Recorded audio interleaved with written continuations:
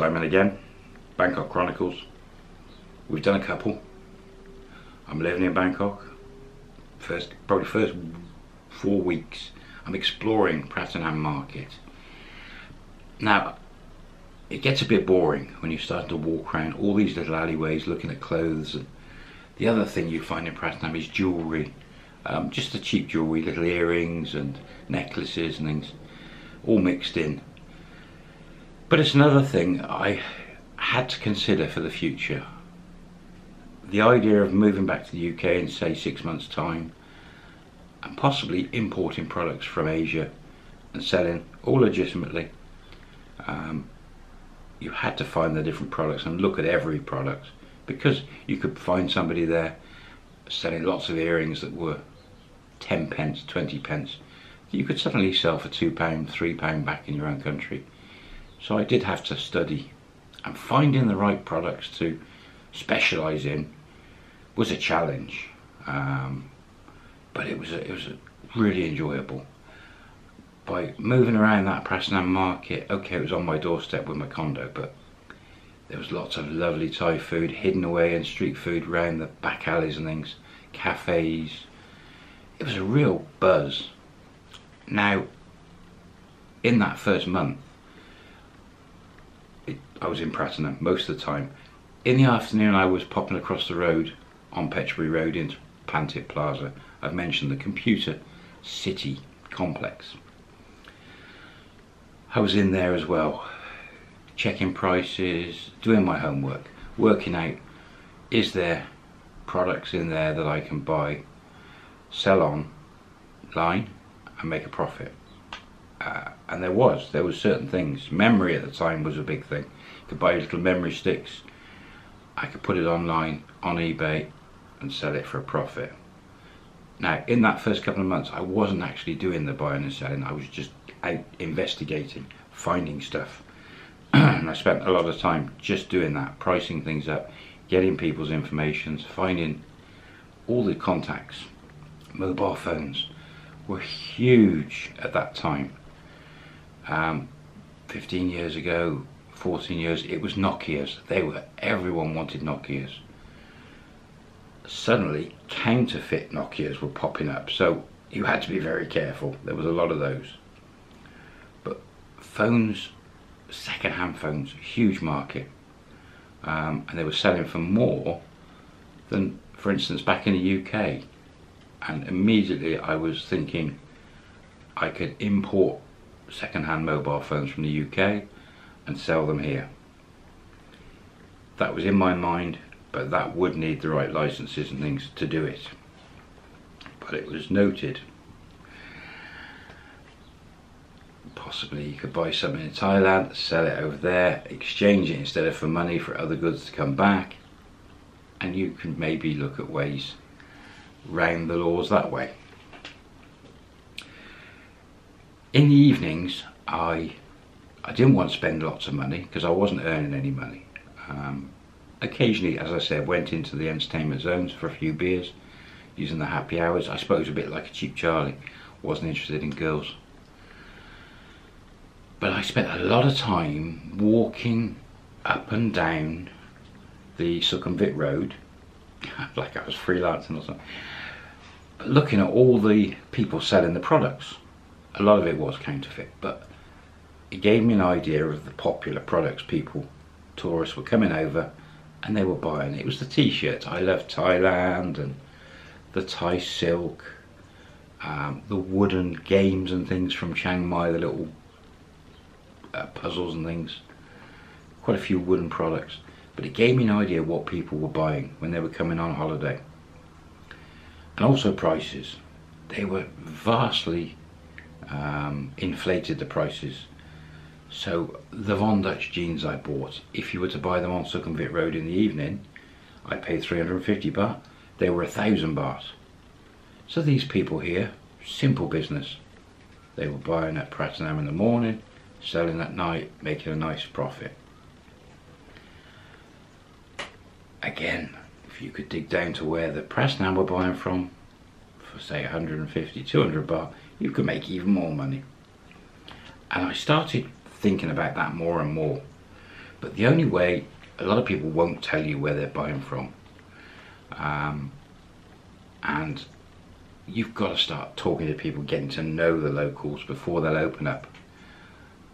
So that, again, that was in the back of my mind. I had to make some friends and try and work out where they were buying them from. It would save me a lot of legwork. I used to go to uh, Patpong, very famous for ping pong ball shows and lady entertainment area.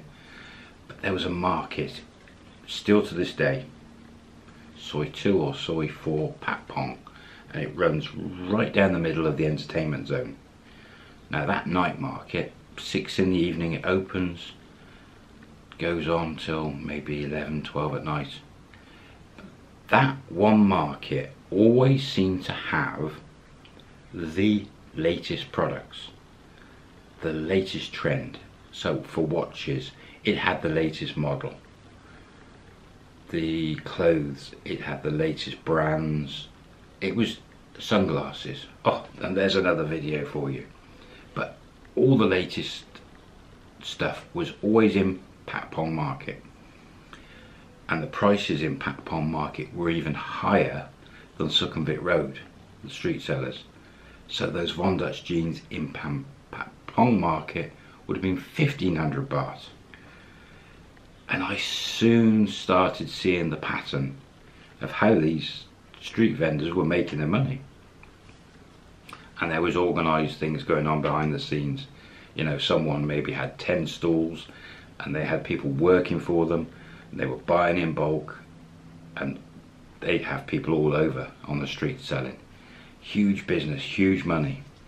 Soon became very apparent, especially with the watches. Very tight-knit community the watch sellers were. They were if they had counterfeit watches, occasionally you'd see raids by the police. They'd clamp down and they'd take all the stuff off them. So then the watches would suddenly disappear for a few weeks and they'd be back. they'd move where the store was. That happened a lot. It was annoying if you were buying off one person and then suddenly they got raided and they disappeared. But by getting those business cards and contacts and phone numbers, you could track them down again. The Patpong was a huge market. Well, it's not huge, but quite a nice sized market. Don't buy from there. not unless you're on your last evening and you've got no time left. The prices are really inflated. You're better off going to one of the specialist markets. Now, I mentioned watches quite a few times. I will come on to that as a separate video. The watches, Chinatown was around that area was where the watches were the cheapest. Clothes, there were markets where they were buying. I will in this series try and point you to where I eventually found was the the starting point where the bulk products were coming in and you could purchase at a lower price. But the word bulk, you had to buy quantity to get the prices down. So this went against me sometimes because I didn't want a hundred items or a thousand items even though I could see it there at the lower price I couldn't get it because I just didn't have the quantity but I will in this series watches definitely do uh, a big thing on watches car accessories there was a huge marketplace for car accessories electrical goods from China torches, anything electrical, kettles. There was an area for that. Clothes, as I say, Pratunam, but there was other areas for clothes to get it cheaper. Every product you can ever think of is available in Bangkok at a much reduced price than you would pay in your own country. Unless you're living in a certain part of China, of course. And I'll try and go through with this series the, the different markets, some prices and how I find, found them. Plus, I've also dating the wife, getting married, etc. That's going to come in the series later on as well. So, let's go on to computers today. Right now in 2017, there are in Bangkok some very, very large shopping centres. My favourite, possibly the biggest, is Mall Bacon, MBK. Quite famous. Huge air conditioned shopping centre, not far from Siam Square. Really, it's the hub the centre of Bangkok. Some six floors, I believe, covering thousands of square metres. On the bottom, it's all restaurants and zones where they'll bring cars in for showing and promotions. Each level has different products, and I always remember level five. I'm probably going to get it wrong now, but I'm pretty sure it was level five. Was telephones. A whole floor with little six-foot cubicles. So someone would have a a counter displaying phones, a seat, and the sides. So it literally was two meter, and they would be paying for that two meter section to sell their wares. There were thousands of these little stalls on that one floor. Then you'd find a floor selling cameras, and there was just thousands. It's a fascinating shopping mall, MBK. I love it. It's my favourite by far. You can sell to your bits and pieces second hand into there. You can buy second hand in there and new. But phones, it was the go-to place for me if I wanted to sell a mobile phone. Again, we'll probably do a video on phones. But it was my go-to place to sell phones and buy phones. There was a watch, a floor with just pretty much half a floor with watches dotted all over the place. There were proper jewellers in the MBK. There's proper gold shops where you can buy and sell gold. Um, clothes, thousands of stores selling clothes, but again, higher price than Pratunam. In MBK is a big car park at the back as well on several floors. So it's easy to get to. Aircon, food there. I spent probably if I condensed it, maybe 10 days, all day and all evening in MBK, going around all the stalls over my period. Absolutely thousands of stalls. Then across the road was Siam Square, more market shopping centres, all the designer shops, cinema, bowling, restaurants, everything. Inside there even there was a certain couple of floors at the back all mobile phones, all clothes, all the same stuff. And every big shopping centre had this, where they have a food section, probably a food mall for the employees. And you could go in, tuck somewhere where you could get cheap Thai food. But the restaurants around the centre of Bangkok, there are thousands of restaurants everywhere, all the shopping centres. But then there was um, it used to be called the World Trade Center. Then there was a fire, I think it was Seatan, it might be called now. I'll have to dig it up. But that was over near where I was living. Um, and there was a big C shopping centre opposite. So again, two big malls near where I was, all the same. Designer shops, restaurants, all the same sort of stuff. Just with those four or five big malls, I could go and study products, prices. I could eat cheap, get to know people, get to meet people. It was wonderful living in the centre of Bangkok. All that on my door. Um, and I hadn't even, that first month living, I hadn't scratched the surface. Coming up again, we'll cover uh, other markets. There's a huge market out of town that a lot of foreigners would go on buses and coaches and would be bussed up there. Um, prices higher. But that market, and I've forgotten the name of it. Oh my god, the biggest market in Bangkok. I'll get it on the next video. You could buy animals up there, dogs, cats, oh, everything. Huge market. Up near Mo Chit. Um, forgot the name. I couldn't get over. I was overwhelmed, and I love markets. I was overwhelmed by how many markets there were, how many square miles Bangkok covered. I was in my element. I was absolutely loving living there. It was just the heat was just too much. It really was. But I soon learned to get around and which hours to avoid. My condo was fabulous for the money.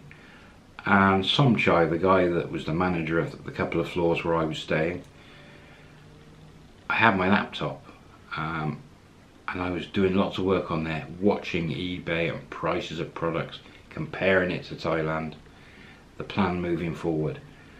It was a bit of a small screen. Chatted to Somchai, he had a spare computer screen. He lent me with a cable. Love the guy. What a lovely guy. And he upgraded my internet in my room. I paid an extra 100 baht, I think, a month to the fastest internet I could get. Made a difference, really good. And my swimming pool, I found out it was 20 baht a time to go down there for the towel. But it was free to go in for me. I'd got the right condo. so that was great. And there was a bit of a gym there as well perfect position to be. And the Judas Tower, to my knowledge, is still there today. In today's prices, you're probably going to get $400 a month, American dollars a month for that condo. Still cheap. Stay there for a couple of months, very cheap. Anyway, these videos are flying by. So much information. I could end up doing 40 or 50 videos for this series, but as I, you know, I'm coming down on YouTube on the videos I'm producing and doing other stuff as I've already mentioned. So these I'm just going to keep drip feeding up and hopefully uh, you'll enjoy them. I'm sure you'll soon tell me if you're not down below. I'll see you on the next video. Bye for now.